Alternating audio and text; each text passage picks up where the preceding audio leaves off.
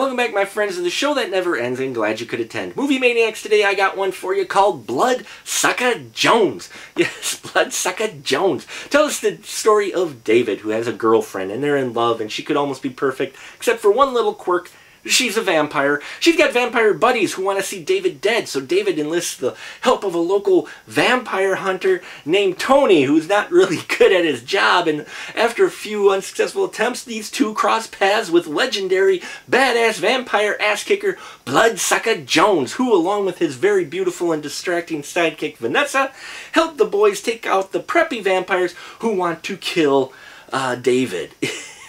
this film is wild crazy, and just fun.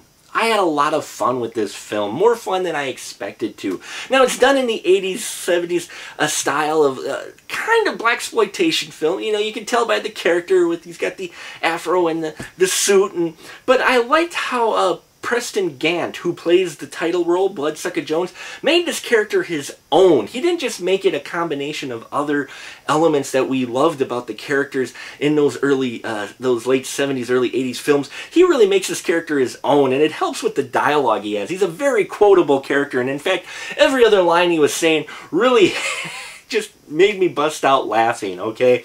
Uh, then you got Justin Armao, who not only wrote and directed this, but stars as David, the guy with the vampire girlfriend. And I like the chemistry he had with Travis Woods, who plays Tony, the would-be vampire.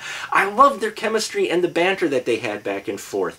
This definitely had the feel, not only visually, of the old school 80s, uh, 70s, 80s films, but it also had that uh, direction and written in that style where that comedy comes kind of at you. You know, there's just, it just keeps going, and some of it is fantastic, and some of it not so much. There's some hills and valleys. I mean, there's parts in this film where I was like, okay, and then suddenly something, they would pull out this out of nowhere uh, line or this scene or something would happen that just made me bust out laughing. And that's what I loved about this film. You weren't quite sure where the jokes were going to come. Now, it does have vampires in it and it has some horror elements to it. Not really scary elements, but horror elements, including gore. There's some great practical effects in here. Over the top practical effects, as you would expect from a comedy horror, but they're still in here and kudos for all the practical gore effects in here. This script was interesting. You never quite knew what to expect, and the ending, I will say, was a was rather unpredictable. Uh, I thought it was going to go one way, and it didn't. Uh, a lot of comedic moments in here, a lot of uh, almost like short scenes as well, the way it's put together. And yes, there's a character in here named Carlos who you got to keep an eye out for.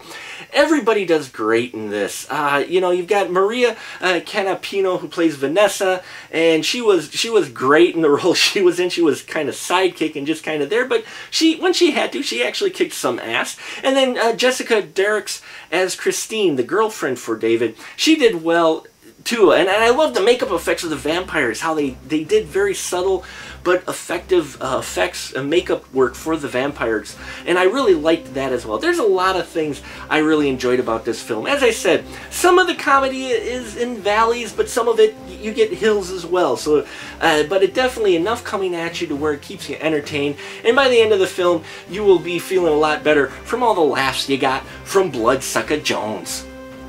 And that'll about do it for us here at the Final Cut. Till next time, folks, keep the tickets tough.